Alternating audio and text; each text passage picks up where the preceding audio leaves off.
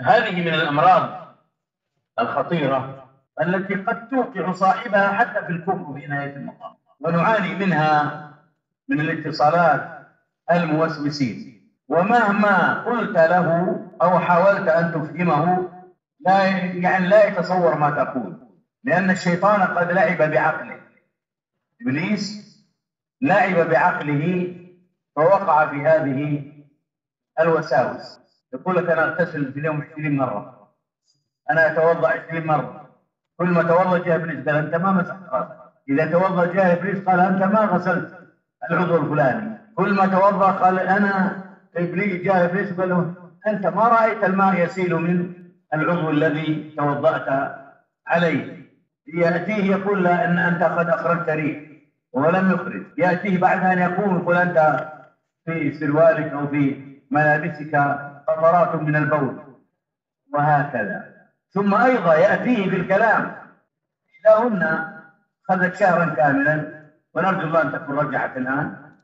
تقول دائما يجيها يقول أنت كفرت أنت قلت كذا وكذا. وهي لم تتكلم لم تتكلم إنما لعب بها إبليس حتى وقعت في هذا هذه التصورات. يعني الوسوسة قد تجعل الإنسان يتخيل أن أمامه شيء غير موجود.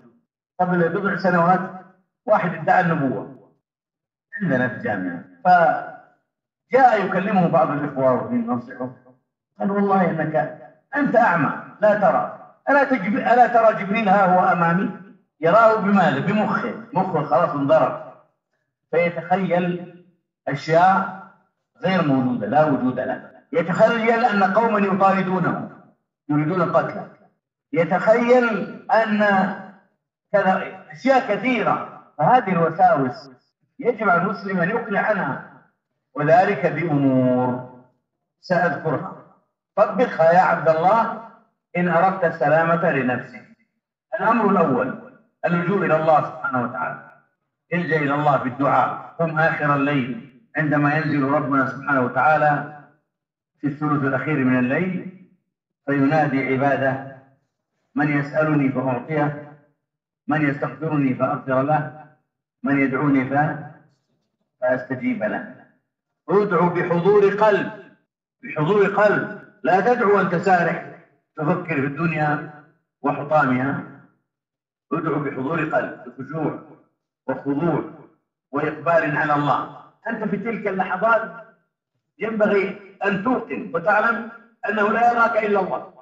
أنت في بيتك وحدك في غرفتك متوجه إلى ربك تنطرح بين يديه تسأله قضاء الحاجات وكشف الكربات إذا أولا اللجوء إلى الله سبحانه وتعالى.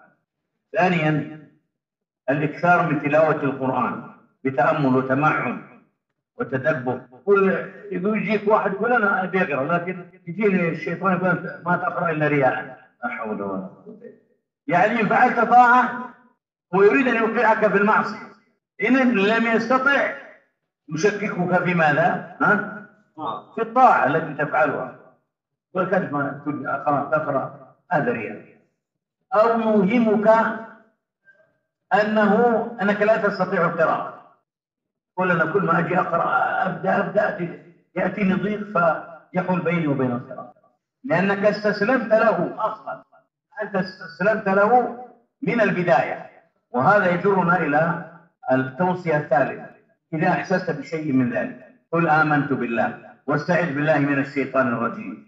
وهو غير وضعك أو جلستك وغير مكانك وتوجه إلى الله قم فصل ركعتين. الصحابة رضوان الله عليهم يقولون للنبي صلى الله عليه وسلم والله يا رسول الله إنا لا نجد في أنفسنا ما لا نستطيع أن نتكلم به. قال ذلك صريح. الإيمان. نعم فعل كونك تستعظمه هذا صريح الإيمان. فالجأ إلى ربك. رابعا غير يعني طريقتك في الوقت. نظم وقتك. خلي وقت القراءة وقت للصلاة وقت للترفيه.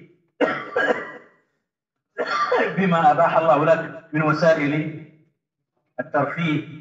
لا ترفه عن نفسك بالمحرمات والنظر إلى المحرمات وما إلى ذلك. خامسا اقرأ بعض كتب السلف التي كتبت في الإيمانيات كما يقولون أو في الزهد. مثل كتاب الجواب الكافي لمن سأل عن الدواء الشافي والمسمى بالداء والدواء لمن؟ لابن القيم. اقرأ كتاب طريق الهجرتين لابن القيم أيضا. اقرأ كتاب عدة الصابرين لابن القيم أيضا. اقرأ كتاب الفوائد وبدائع الفوائد. اقرأ كتاب شجرة الإيمان للشيخ عبد الرحمن السعدي. اقرأ كتب الكتب التي ألفت في تليين القلوب. لكن ابتعد عن بعض الكتب التي حشيت بالأحاديث الموضوعة والمكذوبة انتبه لها لا تقربها. الأمر السادس لا تجعل نفسك في مكان خالي تستسلم للهموم. وللضياع اختلط بالناس. النبي صلى الله عليه وسلم يقول الذي يخالط الناس ويصبر عليه خير من الذي لا يخالطهم ولا يصبر عليه اختلط بالناس.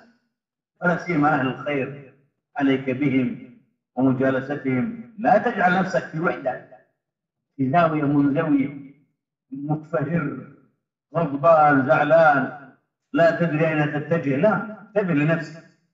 اختلط مع الناس. الذين ينفعونك الجلساء الطيبين. لكن ابتعد عن الجلساء غير الطيبين لأنهم لا ينفعونك لا في أمر دينك ولا في أمر دنياك. اجتهد يا عبد الله أن تكون عند حسن الظن. دائما الأمر الآخر عليك بالصلاة صلاة النافلة السابع فإنها بلسم وعلاج. يقول النبي صلى الله عليه وسلم أرحنا بها يا بلال. ويقول ماذا؟ وجعلت قرة عيني في الصلاة. وكان إذا حزبه أمر فزع إلى الصلاة. فإذا حزبك أمر فتوجه إلى الصلاة. الجأ إلى ربك. انطرح بين يديه انكسر بين يديه تذلل بين يديه سبحانه وتعالى. بأن يشفيك من هذا الداء؟ العضال. أكثر من ذكر الله. من التسبيح والتهليل والتكبير والتحميد وفق منهج السلف الصالح. كيف ذلك إلى أن تلقى الله سبحانه وتعالى؟ وأخيرا أنبهك يا عبد الله إلى أمر مهم جدا وهو أنك إذا أحسست بهذه الوسوسة إياك ثم إياك أن تسترسل معها. بل انصرف اصرفها وانصرف عنها تماما ولا تفكر فيها. انصرف عنها بالكلية. قل آمنت بالله ثم انصرف عنها وابتعد عنها ولا تسترسل خلفها وتفكر فيها وتفكر في حتى في علاجها. لا تفكر. هذه آه، النقطة مهمة جدا. أنك لا تسترسل ولا تفكر فيها. هذه بعض التوصيات أقولها لمن؟ للذين ابتلوا بهذه الوساوس. بإذن الله ستزول. لو طبقتها بصدق وإخلاص بإذن الله سوف تزول. أما إن استسلمت أما إذا استسلمت للأوهام وتلاعب الشياطين بك فإنك لن لن تنجو. وإلا فإني لا يخالك ناجيا